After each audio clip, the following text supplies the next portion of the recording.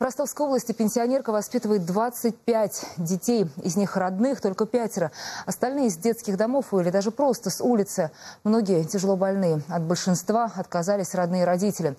Как пожилая вдова справляется с такой огромной семьей, для многих загадка. Только на один обед нужно 20 литров борща и 5 килограммов мяса. Она не унывает и не собирается останавливаться на достигнутом. Говорит, что каждому ребенку кто-то должен утирать слезы. Александр Алексеев о большой доброте. Пять своих детей до 20 приемных. Пока младшие Наталья Музенитова резвятся в игровой, старшие помогают по хозяйству. На обед, ну если пюре, 10 литров мы готовим. Борща мы готовим 20 литров. Компота готовим 20 тоже на день.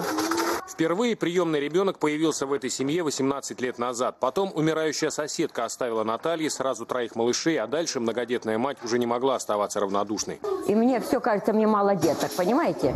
Вот я бы могла справиться, еще взять бы троих, пятерых детей. И мне можно справляться. Есть сила, пока возможность. И я знаю, что каждый ребенок, который слезы на глазах, я должна эти слезы вытереть и успокоить ребенка. Малышей Наталья забирает из детских домов и больниц. От кого-то из них из-за тяжелого заболевания отказались родители, другие стали жертвами или свидетелями жестокости взрослых. Я даже малышу, который без ручек, и то 4 месяца добивалась группу. Одному ребенку который был годик 4 килограмма. Я два года добивалась группу, еле добилась. Для этих детей Наталья Музенитова и мама, и няня, и лечащий врач. Многим требуется постоянная помощь и уход. Я не держу, нет, нет, ты сам, сам, молодец, сам. Все? Стой. Что там такое мешает?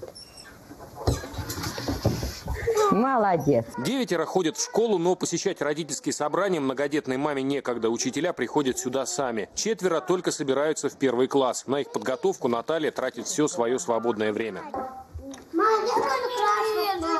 Вот, какая буква это? Какая буква? Молодцы. Когда шесть лет назад умер муж Натальи, думала не справиться. Но старшие дети взяли часть забот на себя. Ну, дежурство мое, то еще там, там с вами мы чистим картошку. Когда другое дежурство, другие чистят. Со своими детьми Наталья Ивановна живет в арендованном коттедже. Для брошенных родителями братьев и сестер это место – единственный шанс остаться вместе. Потому что мы были в приюте, и нас это, хотели разделить по раз, это, в разные эти. Разные семьи. И мы, это, и нас забрали с приюта.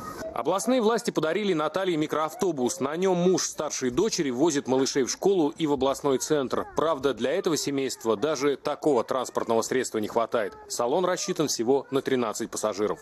Александр Алексеев, Андрей Грабилин, Пятый канал.